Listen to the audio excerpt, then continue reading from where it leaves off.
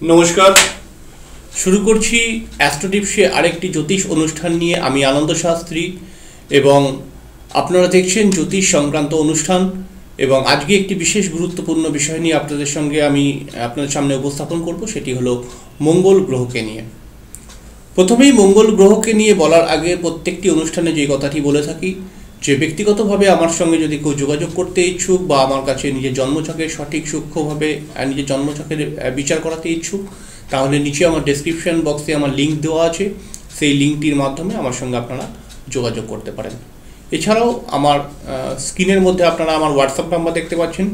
সেই নাম্বারটির মাধ্যমে আপনারা আপনাদের কমেন্টস বা আপনাদের বক্তব্য আমার কাছে পৌঁছে দিতে পারেন। তো সরাসরি অনুষ্ঠানে চলে যাব। আজকে মঙ্গল গ্রহকে নিয়ে অনুষ্ঠান করব এবং আমরা জানার চেষ্টা করব যে জ্যোতিষশাস্ত্র মতে মঙ্গল গ্রহটি একজন মানুষের ক্ষেত্রে কী ধরনের প্রভাব দিয়ে থাকে। তো আসুন মঙ্গল গ্রহ সম্পর্কে জানা যাক। প্রথমেই যে কথাটি বলতে হবে যে মহারাশির প্রথম এবং অষ্টম এই দুটি রাশির অধিপতি মঙ্গল, অর্থাৎ মেষ রাশি এবং বৃশ্চিক রাশির অধিপতি গ্রহ হচ্ছে মঙ্গল। মঙ্গল একটি অগ্নিকারক গ্রহ। মঙ্গল একটি ক্ষত্রিয় বর্ণের গ্রহ। মঙ্গলকে জ্যোতিষশাস্ত্র মতে সোনা সেনাপতির আখ্যা দেওয়া হয়ে থাকে। তো তার সঙ্গে সঙ্গে মঙ্গল মঙ্গলের উচ্চক্ষেত্র হচ্ছে মকর এবং সেখানে শূন্য থেকে আঠাশ ডিগ্রি অবধি মঙ্গল উচ্চস্থ হয় এবং নিচ ক্ষেত্র হচ্ছে কর্কট। সেখানে শূন্য থেকে আঠাশ ডিগ্রি অবধি মঙ্গলের নিচ নিচ স্থান।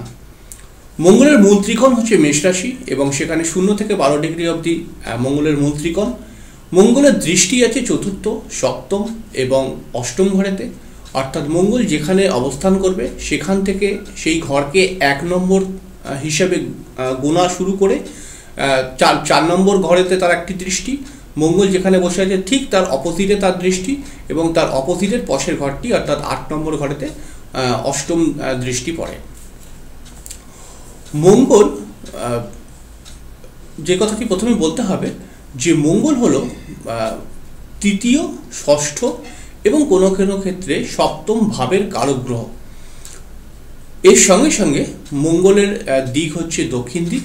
মঙ্গলের তিনটি নক্ষত্র আছে, একটি মৃগশিরা, একটি চিত্রা এবং একটি ধনিষ্ঠা। মঙ্গল একটি নৈসর্গিক অশুভ গ্রহ এবং এই সমস্ত বিষয়গুলিকে আমাদের কিন্তু মাথায় রেখে আমরা সাধারণভাবে জ্যোতিষের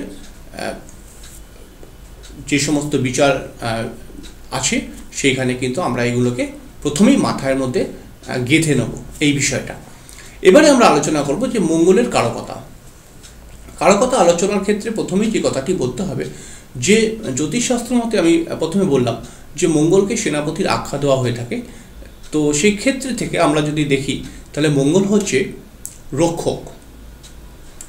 অর্থাৎ রক্ষা করার বিশেষ কারক গ্রহ কিন্তু মঙ্গল। তাই মঙ্গল যেই স্থানেই অবস্থান করুক না কেন, সেই স্থানটাকে রক্ষা করা কিন্তু বেশ কিছুটা ভূমিকা মঙ্গল পালন করে। তবে এই বিষয়টিকে নিয়ে আমরা যখন পরে ছক নিয়ে আলোচনা করব, তখন এই বিষয়টি কীভাবে কার্যকর হয় বা কীভাবে মঙ্গলের প্রভাব রক্ষকের একটি ভূমিকা পালন করে, তখন আমরা সেই বিষয়টিকে নিয়ে আলোচনা করব। এছাড়াও কারকথার মধ্যে যদি আমরা প্রবেশ করি, তাহলে মঙ্গলের কারকথা সাধারণভাবে এমনই যে মঙ্গল কিন্তু একটি ক্রিয়াশীল গ্রহ। মঙ্গল যেই গ্রহের সঙ্গেই সম্পর্ক স্থাপন করুক, সেই গ্রহটিকে মঙ্গল কিন্তু ক্রিয়াশীল করে তোলে। এছাড়াও মঙ্গল হচ্ছে বল, শক্তি, সাহস তার সঙ্গে সঙ্গে আত্মপ্রতিষ্ঠা বীর্যভাব এবং বিভিন্ন রকম হটকারী সিদ্ধান্ত, মামলা মোকদ্দমা, সাংগঠনিক শক্তি রক্ত ব্লাড সার্কুলেশন তারপরে হচ্ছে বিভিন্ন কাজের ক্ষেত্রে দক্ষতা ভূমি খনিজ দ্রব্য কলকারখানা, গৃহ, রোগ প্রতিশোধ ওষুধ, এরকম ইত্যাদি ইত্যাদি বিষয়ে মঙ্গল কিন্তু কারক গ্রহ মঙ্গল একটি অগ্নিকারক গ্রহ বলে মঙ্গলের ভেতরে কিন্তু একটি গরম ভাব দেখতে পাওয়া যায়।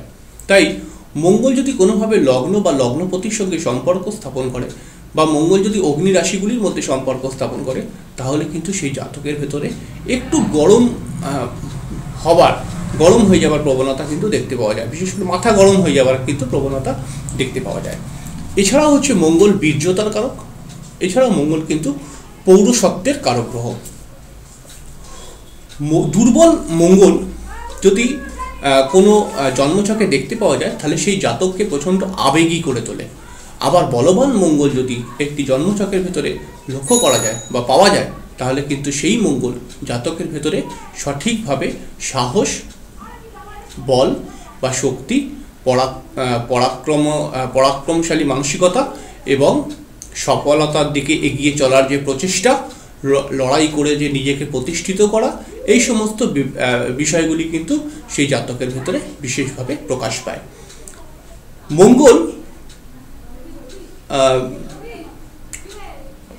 মঙ্গল যদি আর একটা কথা খেয়াল রাখতে হবে দ্বিতীয় স্থানে এবং নবম স্থানে মঙ্গল কিন্তু ভাগ্য হানি করে থাকে। এই কারণে বলা হয় যে দ্বিতীয় ঘরে এবং নবম ঘরে মঙ্গল কিন্তু অশুভ ফল প্রদান করে। সাধারণভাবে আমরা প্রথমেই জেনেছি যে নৈসর্গিক অশুভ গ্রহরা উপচয় স্থানে কিন্তু খুব শুভ ফল দিয়ে থাকে। যতটা পরিমাণে কিন্তু কেন্দ্র কোণেতে কিন্তু সেইভাবে শুভ ফলটা প্রদান করতে পারে না। তবে কোণেতে, অর্থাৎ এক পাঁচ নয়তে যখনই কোনো গ্রহ চলে আসবে এবং সেই গ্রহটি যদি লগ্ন সাপেক্ষে শুভ গ্রহ হয়ে থাকে, তাহলে সর্বদাই শুভ ফলই প্রদান করে। তবে আমরা এর সঙ্গে সঙ্গে আরও বিশেষ কিছু ব্যাপার আছে, যেটি হচ্ছে মঙ্গলের অশুভ যে প্রভাবগুলি আছে, সেগুলো হচ্ছে অনেকটা, মঙ্গল যদি অশুভ হয়ে যায়, তাহলে কিন্তু জাতকের ভেতরে অনেক অনেক অনেক রকমের সমস্যা তৈরি করে দেয়। জাতক প্রচণ্ড মাথা গরম হয়ে যায়, জাতক মাথা গরম হয়ে গিয়ে কিন্তু দুর্ঘটনা ঘটিয়ে দিতে পারে। জাতক জাতক হটকারী সিদ্ধান্ত নেয়, জাতক প্রচণ্ড আবেগী হয়ে যায়, জাতকের ভেতরে নেশা করার প্রবৃত্তি তৈরি হয় জাতকের ভেতরে মারামারি মারপিট থেকে শুরু করে এবং ক্রাইম যেটাকে আমরা বলি, অপরাধমূলক কাজের সঙ্গে যুক্ত হয়ে যাওয়া, এগুলি কিন্তু অশুভ মঙ্গলের একটি প্রভাব।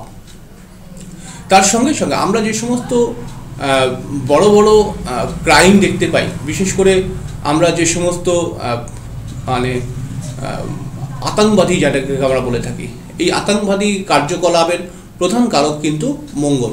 তবে এখানে আমাদেরকে রাহু অবশ্যই সেই মঙ্গলের উপরে কিছু না কিছু প্রভাব সৃষ্টি করবে তবে এই জায়গাটা কিন্তু তৈরি হবে। মঙ্গল যদি অশুভ হয়ে যায়, তার সঙ্গে সঙ্গে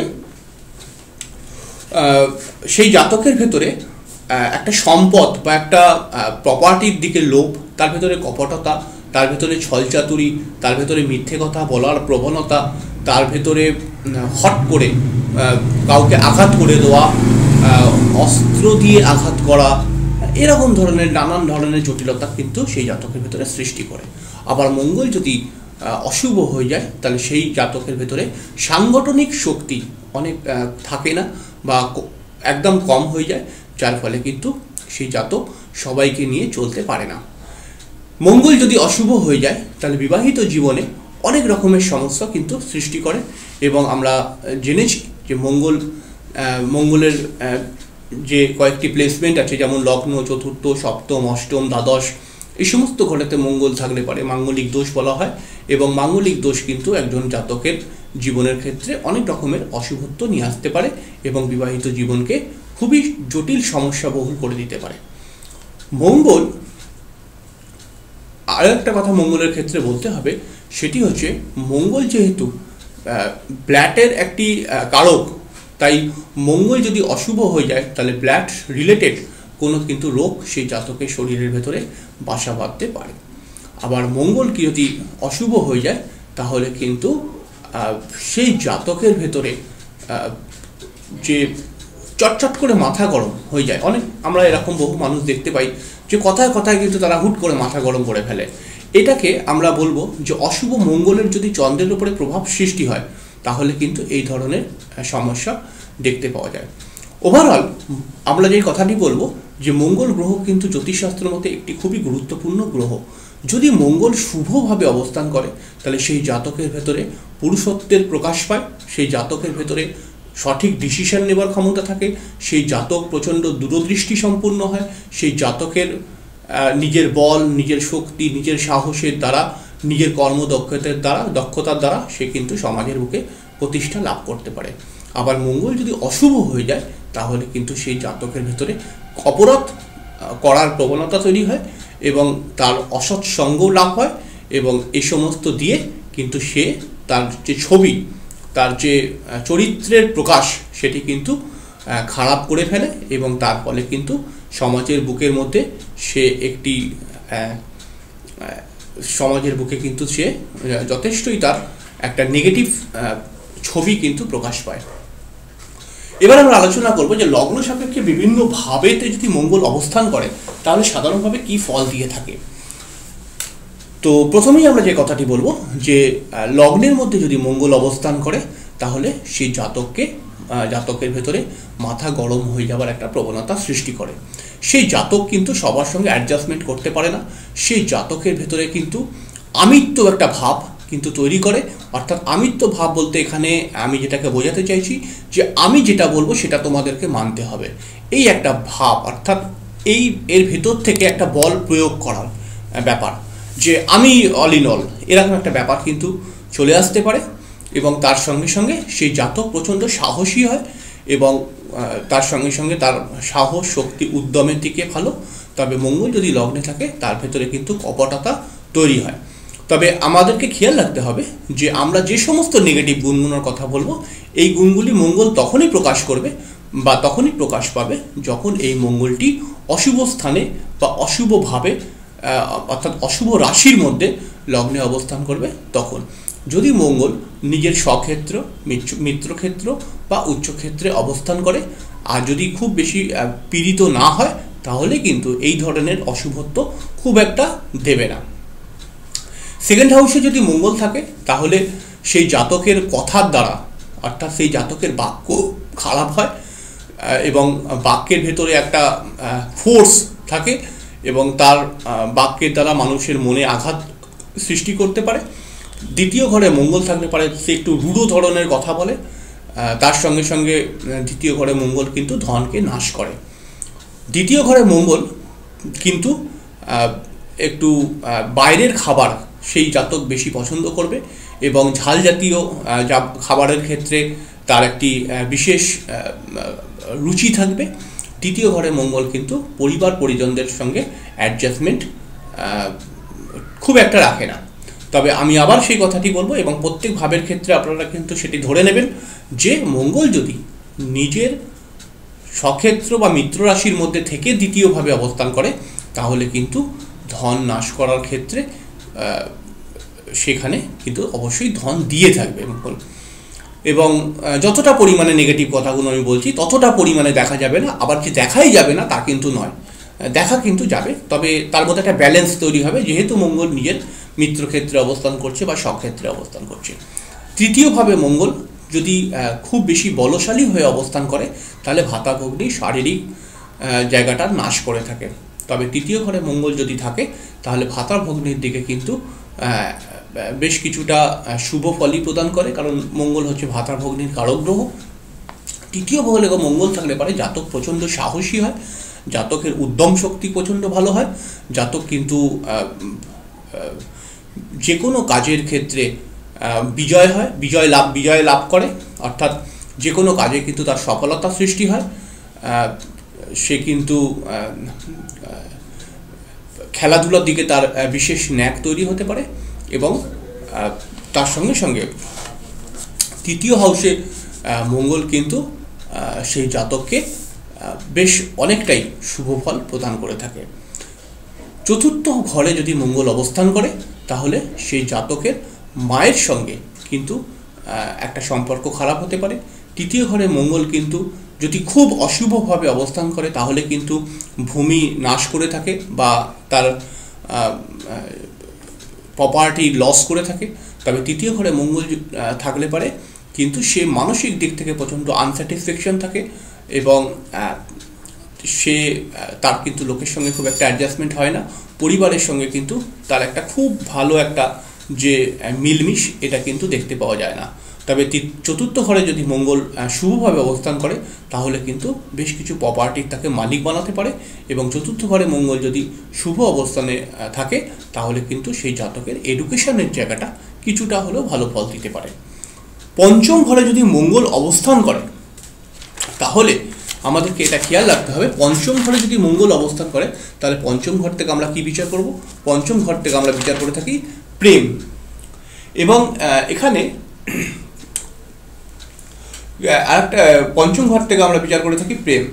তো যার ফলে হচ্ছে মঙ্গল কিন্তু পঞ্চম ঘরে যদি অবস্থান করে, তাহলে সেই প্রেমের ভেতরে একটা গরম ভাব তৈরি করে রাখে এবং প্রেমের ভেতরে কিন্তু যে একটা সুন্দর প্রেম, এটা কিন্তু বলা যাবে না। কারণ পঞ্চম ঘরে মঙ্গল থাকলে পরে কিন্তু সেই মঙ্গলকে, মঙ্গল কিন্তু প্রেমের ঘরটাকে প্রচণ্ড বেশিভাবে ক্রিয়াশীল করে ফেলে এবং তার ফলে কিন্তু প্রেমের ভেতরে যে চাওয়ার ব্যাপারটা, এটা কিন্তু অনেক বেশি পরিমাণে লক্ষ্য করা যায় এবং তার সঙ্গে সঙ্গে পঞ্চম ঘরে মঙ্গল কিন্তু একটু সেক্সুয়াল প্রেম তৈরি করে। পঞ্চম ঘরে প্রেম মঙ্গল থাকলে পরে কিন্তু একটা দারিদ্রতার জায়গা তৈরি করে দেয় সেই জাতকের জীবনের ভেতরে এবং সেই জাতক কিন্তু সৎ বুদ্ধি প্রয়োগ করে কিন্তু সমাজের বুকে দাঁড়াতে অনেক তার একটু লেট হয়ে যায় এবং সেই জাতকের কিন্তু একটু তাড়াতাড়ি রেগে যাওয়ার প্রবণতা সৃষ্টি করে এবং সেই জাতক কিন্তু চট করে অ্যাডজাস্টমেন্ট করতে চায় না কারোর সাথে। পঞ্চম ঘরে মঙ্গল যদি অবস্থান করে, তাহলে আমরা যেটাকে বলব, সেটা হচ্ছে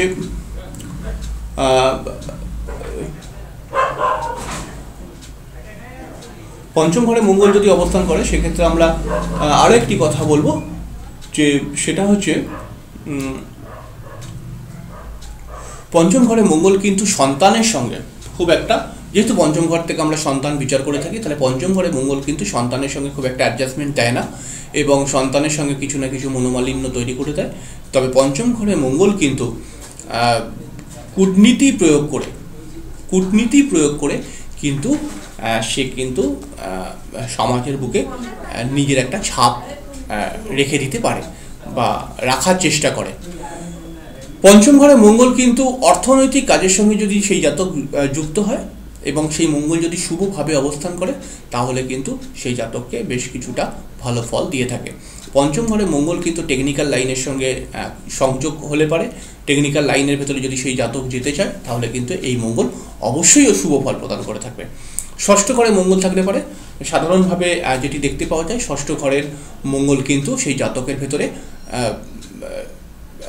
বেশ অনেকটা বেশি পরিমাণে কিন্তু তার সাহস বা বল বা শক্তি প্রয়োগের দ্বারা সে কিন্তু সমাজে নিজেকে প্রতিষ্ঠিত করতে পারে। ষষ্ঠ ঘরে মঙ্গল কিন্তু ষষ্ঠ ঘরে মঙ্গল থাকলে পারে কিন্তু তার শারীরিক কিছু প্রবলেম তৈরি করতে পারে। ষষ্ঠ ঘরে মঙ্গল থাকলে পারে কিন্তু তার ব্লাড সংক্রান্ত কোনো সমস্যা তৈরি হতে পারে। ষষ্ঠ ঘরে মঙ্গল থাকলে পারে কিন্তু সে ষষ্ঠ ঘরে মঙ্গল থাকলে পারে, সে কিন্তু খেলাধুলার দিকে খুব ভালো জায়গা করে তুলতে পারে। ষষ্ঠ ঘরের মঙ্গল কিন্তু প্রশাসনিক বিভাগের দিকে খুব ভালো সফলতা দেয় এবং ষষ্ঠ ঘরের মঙ্গল কিন্তু আমরা শুভই বলে থাকি। সপ্তমভাবে মঙ্গল থাকলে পরে মাঙ্গলিক দোষ সৃষ্টি করে এবং চতুর্থ ঘরেও আমার এই কথাটি বলা হলো না। চতুর্থ ঘরেও কিন্তু মাঙ্গলিক দোষ সৃষ্টি করে এবং সেখানে বিবাহিত জীবনে বেশ কিছু সমস্যা দিয়ে থাকে। তো সপ্তম ঘরে মঙ্গল থাকলে পরে কিন্তু মাঙ্গলিক দোষ সৃষ্টি হয় এবং এই মাঙ্গলিক দোষ যথেষ্টই অশুভ। এই মাঙ্গলিক দোষের ফলে জীবনসাথী বা জীবনসঙ্গিনী যেই হবে, তার ভেতরে কপটতা, ছল, চাতুরি মিথ্যে কথা বলার প্রবণতা, এই সমস্ত বিষয়গুলো প্রকাশ পাবে। সপ্তম ঘরে মঙ্গল থাকলে পরে জাতকের জীবনসঙ্গিনী বা জীবনসাথীর যে মাথা গরম হয়ে যাওয়ার একটা প্রবণতা সৃষ্টি করবে। সপ্তম ঘরে মঙ্গল থাকলে পারে কিন্তু স্বামী স্ত্রীর মধ্যে অ্যাডজাস্টমেন্টের সমস্যা খুব বেশিভাবে তৈরি হবে। সপ্তম ঘরে মঙ্গল থাকলে পারে তার দৃষ্টি লগ্নের মধ্যে থাকবে এবং লগ্নের মধ্যে থাকলে পারে সেই জাতককেও কিন্তু যথেষ্ট মাথা গরম করে দেওয়ার একটা প্রবণতা সৃষ্টি করবে এবং যার ফলে আমরা বলব যে স্বামী স্ত্রীর মধ্যে কিন্তু বিবাহিত জীবনের ক্ষেত্রে অনেক ধরনের সমস্যার সৃষ্টি হতে পারে। তার সঙ্গে সঙ্গে সপ্তম ঘরে মঙ্গল থাকলে পারে। পার্টনারশিপ ব্যবসার ক্ষেত্রে খুব একটি শুভ ফল প্রদান করবে না। সপ্তম ঘরে মঙ্গল থাকলে পারে কিন্তু ব্যবসার যখন আমি শখ নিয়ে আলোচনা করব, তখন আমি বলব যে সপ্তম ঘরে মঙ্গল থাকলে পারে শুভ অবস্থানে যদি সেই মঙ্গল থাকে, তাহলে পরে বেশ কিছু ব্যবসার সঙ্গে সংযুক্ত হতে পারে তারা, সেই জাতক তো এখন সেটি বলছি না, কারণ আমি ব্যবসা নিয়ে আলাদা একটা বিস্তর আলোচনায় আসব পরে, বা কর্ম নিয়ে একটা বিস্তর আলোচনায় আসব এডুকেশন নিয়ে একটা বিস্তর আলোচনায় আসব। তো পঞ্চম ঘরে মঙ্গল সপ্তম ঘরে মঙ্গল থাকলে পারে আমরা ওভারঅল জেনে থাকব যে সপ্তম ঘর থেকে বিবাহিত জীবন বিচার করা হয় এবং এটা একটা মাঙ্গলিক দোষ আন্ডারে পড়ে যাচ্ছে, যার ফলে কিন্তু বিবাহিত জীবনে অনেক ধরনের জটিলতা সৃষ্টি করে বা ডিভোর্স পর্যন্ত হতে পারে। অষ্টম ঘরে যদি মঙ্গল অবস্থান করে, তাহলে সেই জাতকের ভেতরে কামুকতাকে বৃদ্ধি করিয়ে দেয়, কামুক ভাবটাকে বৃদ্ধি করায় এবং অষ্টম ঘরে মঙ্গল কিন্তু সেই জাতকের বা জাতিকা জীবনসঙ্গিনীর মুখের বাক্য খুবই খারাপ করে ফেলে। সপ্তম, অষ্টম ঘরে মঙ্গল কিন্তু সেই জাতকের ভেতরে সেই জাতককে রোগী করে দেয়। অষ্টম ঘরে মঙ্গল কিন্তু সেই জাতকের ভেতরে অনেক রকমের দুর্ঘটনা ঘটাবার প্রধান কারক হিসাবে মানা হয়ে থাকে এই ঘরের মঙ্গলকে। নবম ঘরে মঙ্গল থাকলে পরে ভাগ্য নাশ করে থাকে বলা হয়ে থাকে। তবে নবম ঘরে মঙ্গল থাকলে পরে জাতক আইনি ঝামেলায় জড়িয়ে পড়তে পারে। নবম ঘরে মঙ্গল থাকলে পরে তার ভগবানের প্রতি যে বিশ্বাস বা আস্থা, সেটি কোথাও দুর্বল হতে দেখা যায়। নবম ঘরে মঙ্গল থাকলে পরে পিতার সঙ্গে তার সম্পর্ক খারাপ হতে পারে। নবম ঘরে মঙ্গল থাকলে পরে তার হায়ার হায়ার এডুকেশনের ক্ষেত্রে টেকনিক্যাল লাইনের দিকে গেলে পারে বা তার সঙ্গে সঙ্গে যে কোনো আমরা যেটাকে বলি টেকনিক্যাল লাইনের সঙ্গে গেলে বা তার সঙ্গে সঙ্গে হচ্ছে ইলেকট্রিক সংক্রান্ত কোনো ধরনের ভালো লাইনের দিকে যদি সেই জাতক যায় বা সেই জাতক ইলেকট্রিক নিয়ে যদি কোনো পড়াশোনা করে, তাহলে কিন্তু সেই জাতকের সফলতা দেখতে পাওয়া যায়। নবম ঘরে মঙ্গল কিন্তু ওভারঅল খুব একটা ভালো ফল দেয় না। দশম ঘরে মঙ্গল অবশ্যই শুভ ফল প্রদান করে থাকে। দশম ঘরে মঙ্গল কিন্তু প্রশাসনিক বিভাগে বিশেষভাবে চাকরি করার ক্ষেত্রে খুবই সহায়ক। দশম ঘরে মঙ্গল থাকলে সেই জাতকের ভেতরে নিজের কর্মদক্ষতার দ্বারা প্রতিষ্ঠিত হওয়ার সম্ভাবনা তৈরি করে। দশম ঘরে মঙ্গল কিন্তু প্রথমের দিকে মান সম্মানকে হানি করালে পরও ভবিষ্যতে কিন্তু বা পরের দিকে মান সম্মান যশ খ্যাতির দিকে বেশ কিছুটা ভালো ভূমিকা পালন করে এবং এই প্রত্যেকটি জিনিস, অর্থাৎ মান সম্মান, যশ খ্যাতি, যাই কিছু ব্যাপারটা থাকুক, সেই জাতক নিজের প্রচেষ্টার দ্বারা, নিজের দক্ষতার দ্বারা কিন্তু সেটিকে অর্জন করে থাকে। ইলেভেন্থ হাউসে মঙ্গল যথেষ্ট শুভ ফল দিয়ে থাকে। এই ঘর থেকে আয় বিচার করা হয়, লাভ বিচার করা হয়, সফলতা বিচার করা হয়। ইলেভেন্থ হাউসে মঙ্গল কিন্তু সেই জাতকের ক্ষেত্রে অবশ্যই শুভ ফল প্রদান করে এবং এই ঘরেতে মঙ্গল কিন্তু সেই জাতকের ভূমি বা জমি বা বাড়ি লাভ করায়। তবে এখানে একটা কথা খেয়াল রাখতে হবে যে বাড়ির ক্ষেত্রে কিন্তু মঙ্গল বাড়ির কারগ্রহ, অর্থাৎ আমরা জমি থেকে যেই বাড়ি তৈরি করি, সেই বাড়ির কারগ্রহ কিন্তু মঙ্গল এবং ফ্ল্যাটের মধ্যে আমরা যেটা থাকি, সেই ফ্ল্যাটের কারগ্রহ কিন্তু শুক্র। তো মঙ্গল যদি ইলেভেন্থ হাউসে অবস্থান করে, তাহলে কিন্তু সেই জাতকের ভূমি বা জমি, বা বাড়ি, বা তৈরি করবার একটা শুভ জায়গা তৈরি করে এবং ইলেভেন্থ হাউসে মঙ্গল থাকলে পারে কিন্তু বড় ভাইয়ের সঙ্গে সম্পর্ক খারাপ তৈরি করতে পারে। তবে ইলেভেন্থ হাউসে মঙ্গল কিন্তু খনিজ দ্রব্যের ব্যবসার দ্বারা কিন্তু সেই জাতককে যথেষ্ট ভালো জায়গায় নিয়ে যেতে পারে। তার সঙ্গে সঙ্গে যে সমস্ত মঙ্গলের ব্যবসাগুলো আছে আমরা পরে আলোচনা করব, সেই সমস্ত ব্যবসা কিন্তু ইলেভেন্থ হাউসে মঙ্গল ভালোই দেয়। টুয়েলথ হাউসে মঙ্গল থাকলে পারে জাতক এর ব্যয় বা বৃদ্ধি করিয়ে দেয়। জাতকের শয্যা সুখের ক্ষেত্রে হানি ঘটায়। ইলেভেন্থ হাউসে মঙ্গল থাকলে পারে কিন্তু জাতকের শরীরকে রোগী তৈরি করিয়ে দিতে পারে। ইলেভেন্থ হাউসে মঙ্গল থাকলে পারে কিন্তু জাতক নিজের কর্ম নিজের জন্মস্থান থেকে দূরে গিয়ে তার ভাগ্য উন্নতি করতে সহায়ক হয়। দ্বাদশ ঘরেতে মঙ্গল থাকলে পারে কিন্তু তার দ্বাদশ ঘরে মঙ্গল থাকলে পারে কিন্তু তার ব্ল্যাড সংক্রান্ত সমস্যা তৈরি করবার কারক হিসাবে বলা হয়ে থাকে। দ্বাদশ ঘরে মঙ্গল কিন্তু জীবনের অনেক কিছুকেই নাশ করে দিতে পারে। দ্বাদশ ঘরে মঙ্গল কিন্তু বিবাহিত জীবনের ক্ষেত্রে অনেক জটিলতা সৃষ্টি করতে পারে এবং এই ঘরেতে মঙ্গল অবশ্যই মাঙ্গলিক দোষের এফেক্ট দেয় এবং তার কারণে দ্বাদশ ঘরে মঙ্গল কিন্তু বিবাহিত জীবনে ডিভোর্স পর্যন্ত তৈরি করে দিতে পারে। তো এই হলো ওভারঅল বারোটি ভাবের মধ্যে মঙ্গলের প্লেসমেন্ট অনুসারে কি কি সাধারণভাবে ফল দিয়ে থাকে এটি নিয়ে আলোচনা করলাম। তবে এটি সম্পূর্ণ নয়। এখন অনেক অনেক কথা থেকে যায় যেগুলো আপনাদের সঙ্গে বলা হয় না। তো সাধারণভাবে বোঝাতে গেলে পারে এই সামান্য ব্যাপারটুকু বলার চেষ্টা করলাম বা আপনাদেরকে জানাবার চেষ্টা করলাম। তবে আমি যতগুলোই খারাপ কথা বললাম, সব কথা খারাপ বিষয়ই কিন্তু তখনই ফলবে যখন এই মঙ্গল তার অশুভ ক্ষেত্রে অবস্থান করবে বা মঙ্গল খুব বেশি পীড়িত হয়ে এই সমস্ত ভাবে অবস্থান করবে বা মঙ্গল অশুভ ভাবের নক্ষত্র থেকে এইভাবে অবস্থান করবে, তাহলে কিন্তু এই অশুভত্বগুলো যেগুলো বললাম সেগুলো হবে বা আরও বৃদ্ধি হতে পারে। মঙ্গল যদি তার শুভ শুভ ক্ষেত্রে অবস্থান করে বা শুভ দৃষ্ট হয়ে থাকে, তাহলে কিন্তু এই যে অশুভত্বগুলোকে নিয়ে আলোচনা করলাম, সেগুলো ততটা বেশি অশুভত্ব দেবে না। তার প্রভাব অনেক অনেক অংশে কমে যাবে এবং যে শুভত্বগুলোর কথা বললাম, সেই শুভত্বগুলো বৃদ্ধি পাবে। তো, এই হলো মঙ্গল নিয়ে সাধারণ একটি আলোচনা। এরপরে আমি আবার একটি অন্য গ্রহ নিয়ে আলোচনায় আসব। ততক্ষণের জন্য নমস্কার।